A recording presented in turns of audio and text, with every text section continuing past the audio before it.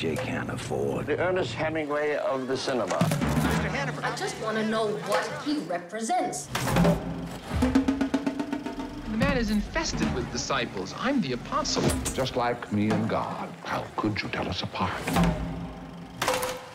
Hannaford's new movie? The other side of the wind. What's that about the movie? We don't talk about the movie.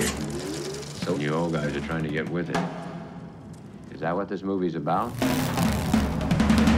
Well, we don't actually know. What do we know? Jake is just making it up as he goes along. He's done it before. Movies and friendship. Those are mysteries. Mr. Hannaford, could you please slow down? Mr. Hannaford! What he creates, he has to wreck. It's a compulsion. Want me to bring you another scotch?